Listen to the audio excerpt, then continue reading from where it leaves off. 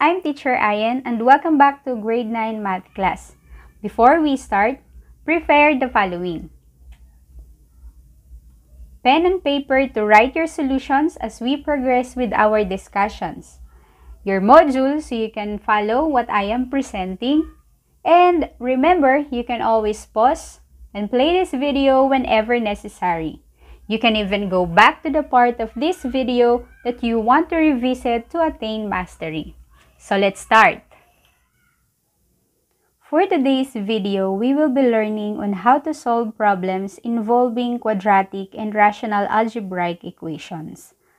The first thing we're gonna talk about are the most common keywords that you need to know based on the most common operations.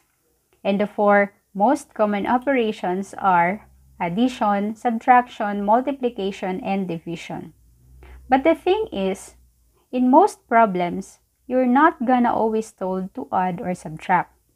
There are sometimes important keywords that you have to look for.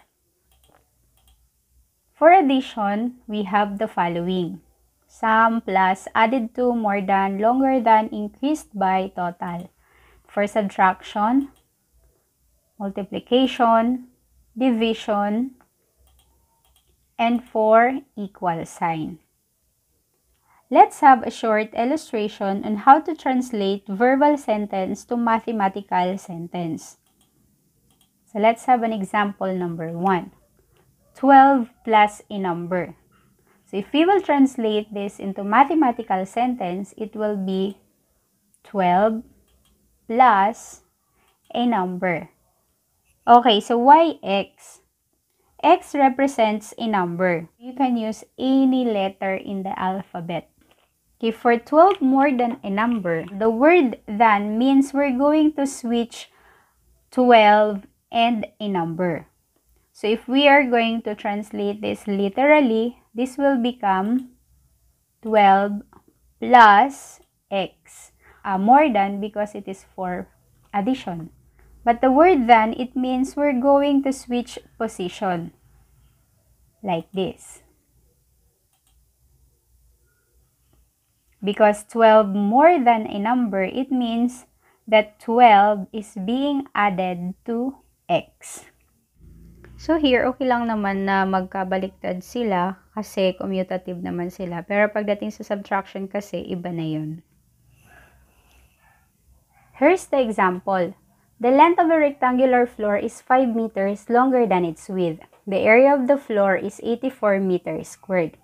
Pagpalagay natin na ito yung rectangle at ang width niya ay x. Tapos, according dito sa problem, ang length ng rectangle ay 5 meters longer than its width. So, kung ang width natin ay x, at 5 meters longer than its width. So, kung maaalala ninyo, yung kaninang unang present ko, na kapag merong than, ibig sabihin, isi-switch natin yung 5 at saka yung width natin. Kaya, ang magiging representation ng length natin ay x plus 5 plus kasi longer. Okay, so switch natin si 5 at saka si width, kaya naging x plus 5. So, yun yung representation naman natin ng length. And according dito sa problem, ang area ng rectangle ay 84 meters squared. Since we're talking about length, width, and area, let us identify the formula of area. So the formula of area is equal to length times width. Now let's apply this to our representations wherein your width is x and your length is x plus 5. So this is the formula and the area is 84 is equals to multiply natin sa length na x plus 5 times x para sa width. At ito yung equation natin. Then, let's simplify this by Okay, so bring down natin yung 84, then i-distribute lang natin yung value sa labas ng parenthesis dito sa loob ng parenthesis. So, i-distribute lang natin siya. So, x times x is equals to x squared. Then, x times 5 is equals to 5x. Uh, gagawin lang natin siya yung standard form quadratic equation. I-arrange lang natin siya.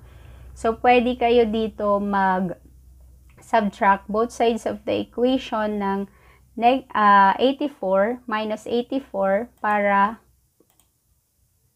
okay, para maging 0 yung left side ng equation. Kung nag-subtract kayo ng 84 sa left side, magsasubtract din kayo ng 84 sa right side. So, pwede rin naman ito yung tinatranspose lang natin tong 84 dito sa right side. So, ganun. Pwede rin ganun. Okay, so 84 minus 84 is equals to 0. And then, x squared, bring down lang natin x squared plus 5x minus 84. So, as you can see, naka-standard form of quadratic equation na siya. So, ito ngayon ang ilalagay nyo sa second column doon sa pinakita ko kanina sa learning task number 2. Para sa learning task number 2 ninyo doon sa module. Ngayon, okay lang guys na 0 ang nandito sa left side ninyo. So, walang problema naman yon So, okay lang yan. Okay, ngayon naman, tingnan ninyo ang learning task 3B and 4 ninyo sa inyong mga module. So, gagamitin lang natin yung naunang problems na ginamit natin kanina. Itutuloy lang natin siya sa pag-solve. Okay, so ito yung problem kanina. The length of a rectangular floor is 5 meters longer than its width. The area of the floor is 84 meters squared. Dinagdagan lang natin siya ng tanong na find its dimension. So, ito yung gagamitin nating problem. So, i-continue lang natin. So, ito yung kaninang unang ginawa natin. Ito yung quadratic equation. Ito yung sinulat natin dun sa second column. So, para dito sa learning task 3B at saka 4, ganito ang gagawin natin.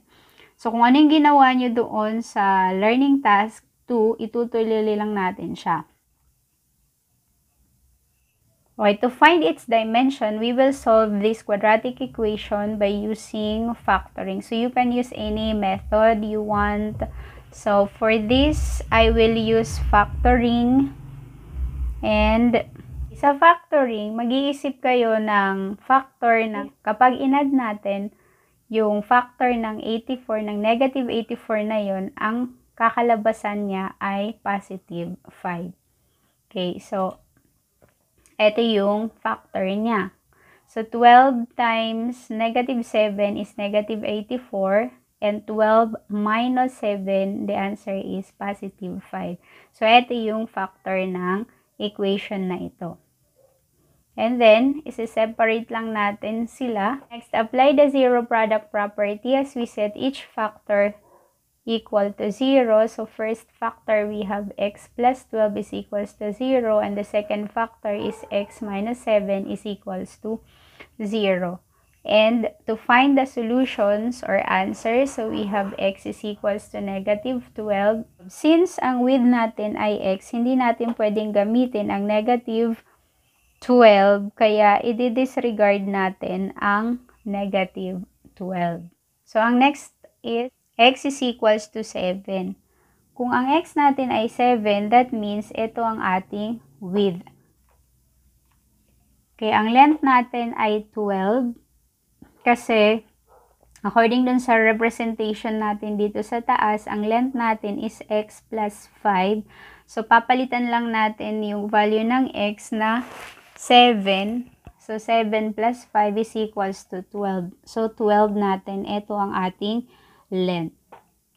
So, to check, so mula dun sa formula, area is equals to length times width. Ang area natin ay 84. Ang length na nakuha natin ay 12. At ang width natin ay 7. So, 12 times 7 is equals to 84. So, thus, the length of the rectangle is 12 meters and its width is 7 meters. So, yun po yung dimension ng rectangular floor natin.